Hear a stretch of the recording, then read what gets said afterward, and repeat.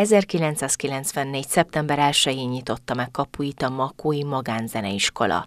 Ekkor indult meg az oktatás az intézmény falain belül 120 diákkal és 8 tanárral.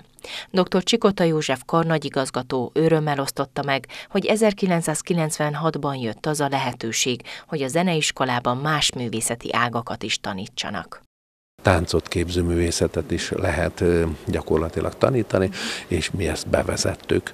A későbbiekben középiskolát is nyitottunk, hivatásos zenészeket is képzünk, és mára már megtízszereződött a létszámunk, 1200 gyereket tanítunk minden évben.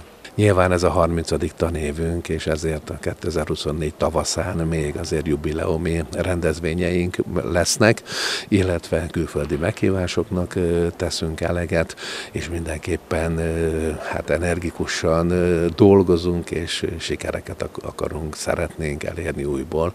Vaserika életét is átszőtte a zene, aki megosztotta saját történetét, és arra is kitért, hogy milyen ehhez a közösséghez tartozni.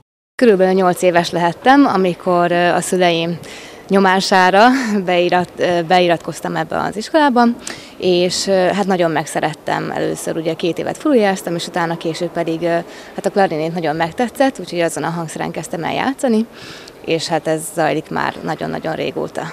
Ez egy nagyon motiváló közeg, azt gondolom, mert mindenki nagyon profinál ehhez a, ehhez a munkához, amit itt zajlik a két ünnep között, és bármilyen koncertről legyen szó, tudjuk, hogy oda felkészülten fogunk menni.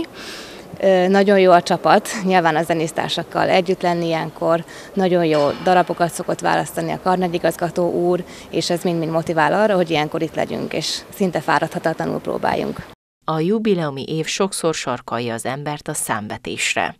A karnagy igazgatótól azt is megtudtuk, hogy milyen érzések játszódnak le benne, ha 30 évre gondol.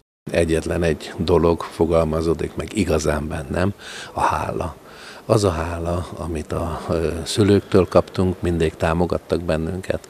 A gyerekek, nagyon nagy köszönettel tartozunk a szorgalmukért, a munkájukért, mert bizony hangszeren megtanulni játszani nagyon nagy szorgalom, kitartó gyakorlás, órákra kell járni hosszú éveken keresztül, akkor van igazi produktum, és hát természetesen a mindenkori tanárok, akik tanítottak, a, tanítanak a zeniskolában már három évtizede, az ő nagyon szorgalmas, kitartó munkájuknak köszönhető köszönhetőek azok a sikerek, amit közösen együtt értünk el, nem csak itt városunkban, a megyében, vagy országos szinten, hanem nemzetközi szinten is versenyeken veszünk részt, és mindig dobogós helyezésekkel érünk haza.